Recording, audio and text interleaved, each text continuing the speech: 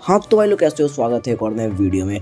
भाई, ये हमारा क्रिकेट बैट और इसके नीचे का हालत देखो भाई। ये कितना गंदा लगा हुआ है और इसमें एक और प्रॉब्लम है, ये घिस रहा है। जब भी मैं बैटिंग कर रहा हूँ घिसते जा रहा है। वो ना घिसे और अच्छे तरह से हो जाए, उसके लिए आपको पहले लेना होगा सैंड पेपर और सैंड पेपर जिसके ऊपर जितने भी ज़्यादा डस्ट पार्टिकल जितनी मिट्टी लगी हुई है, पहले उसको निकाल देना होगा।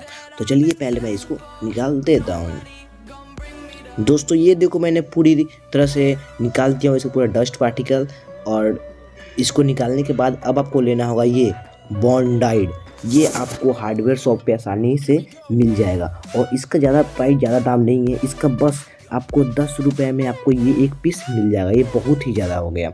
उसके बाद आपको लेना है ये ट्यूब जो साइकिल का ट्यूब होता है, वो ले सकते हो, अगर आपके पास वो नहीं है तो आप ले सकते हो बैट का ग्रिप ख़राब पड़ा हुआ। उसके बाद कोई सा भी कार्डबोर्ड या कोई सा भी डब्बा ले लेना क्रीज के ऊपर हम लोग बॉन्ड डाइट को मिक्सिंग करने वाले हैं। तो बॉन्ड डाइट के अंदर से निकलता है हमारा ये दो ट्यूब और एक हार्डनर होता है और एक रेसिनर होता है। तो पहले इसमें होल करना होगा। तो होल कुछ ज़्यादा नहीं करना होगा भाई। ये दोनों पैक होता है तो होल करना होगा। तो ढक्कन के नीचे, उल्टे साइड में इसके होल करने का ऑप्शन दिया हुआ रहता है। तो बस प्रेस करना है और इसमें होल हो जाएगा। तो अब इसमें से थोड़ा थोड़ा आपको निकाल लेना होगा। वो जितना लगता है कितना हो सकता है, आपको थोड़ा थोड़ा इसमें से निकाल लेना होगा। देखिए दोस्तों, मैं निकाल लिया हूँ, उसके बाद कोई सा भी चीज़ की मदद से आप इसको अब मिला देना। भाई, हमारे चैनल पे ऐसी वीडियो आते रहते हैं तो भाई, चैनल को ज़रूर सब्सक्राइब कर लेना और हमारे वीडियो को भी लाइक ठोक देना। अगर आप लाइक कर दोगे, भाई, मुझे बहुत खुशी होने वाली है। देखिए, मैंने जो मिला दिया हूँ, अब इसको बैट के निचले वाले हिस्से में हम लोग लगाने वाले हैं। भाई छोड़ना कहीं पे भी नहीं है। पूरी तरह से आपको लगा देना है।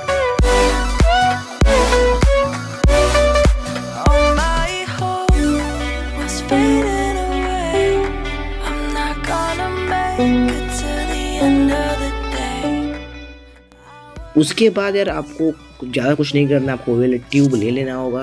जो मैं साइकिल का निकाला था। उसके बाद आपको लेना है वही सैंड पेपर और इसका सरफेस स्मूथ होता है तो इसको हम लोग रफ करेंगे। वही सैंड पेपर पे ऐसे घिस घिस कर इसको रफ इस कर लेंगे।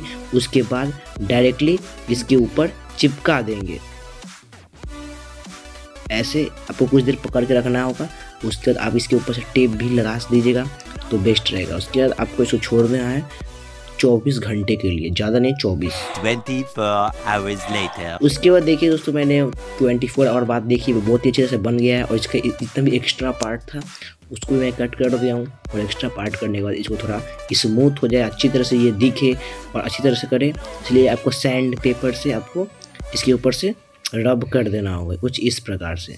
वीडियो अच्छी लगी तो वीडियो को लाइक कर लेना। हमारे चैनल पे ऐसी वीडियोस आते रहते हैं तो चैनल को ज़रूर से ज़रूर सब्सक्राइब भी कर लेना।